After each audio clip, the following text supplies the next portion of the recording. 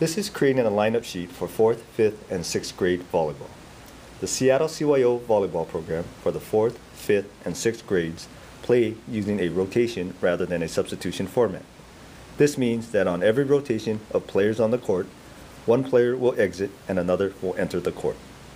The advantages to the rotation system are all players receive equal opportunity to play. Coaches do not need to worry about meeting playing time rules by counting points. This system automatically takes care of playing time issues. Coaches have more time to focus on fundamentals rather than strategy. However, game strategy now rests on the coach in setting up their lineup sheet. One lineup sheet is used for the entire match, so players remain in the same order for the whole match. Lineup order cannot change between sets, and the lineup continues in the next set right where players left off in the previous set. Once a lineup sheet has been submitted to scorekeepers, it cannot be changed. Therefore, coaches need to plan ahead of the match and set their lineup. To do this, coaches should consider the following when planning their lineup. Skill level of each player, personalities of players, players' punctuality to matches. When considering skill level of players, it is recommended that coaches avoid putting all their strong players in first or at the beginning of the lineup sheet. This will mean that although you may begin strong, your weaker players will then be rotating in together.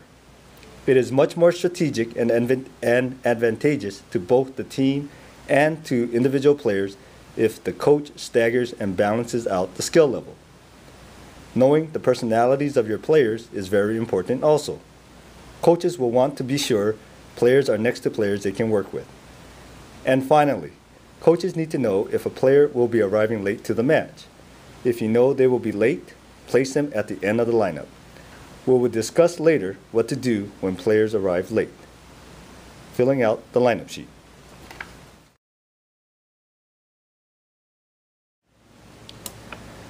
Lineup sheets can be downloaded from the CYO website.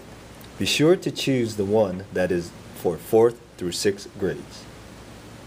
First, enter the team name. Check home or visitor. This will be on your schedule.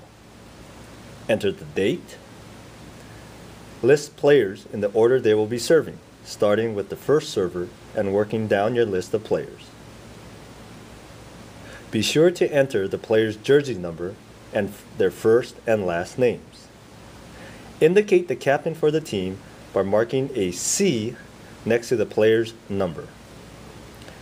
Enter the coach's names. Any coach on the bench must be listed on the lineup sheet. Also, all coaches on the lineup sheet must be registered with the CYO office. Each coach must sign the lineup sheet.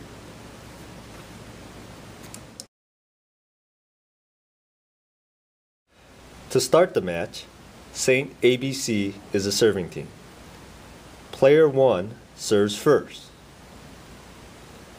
The point is lost. Team Holy XYZ rotates, but player R remains in the game because they have not served. This is the only exception. At the start of the match, the receiving team will not rotate a player out as this player has not served yet. Players do not rotate out until after they have served. This exception only occurs at the beginning of game one of the match and only for the receiving team. Player A serves, the point is lost. St. ABC rotates. Player 1 rotates out, and player 7 comes in to the middle back position. All other players on the court will rotate clockwise, and player 2 will serve. Player 2 serves, and the point is lost. Team Holy XYZ rotates. Player A rotates out.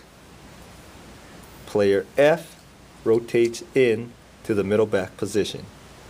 All other players on the court rotate clockwise, and player B will then be the server.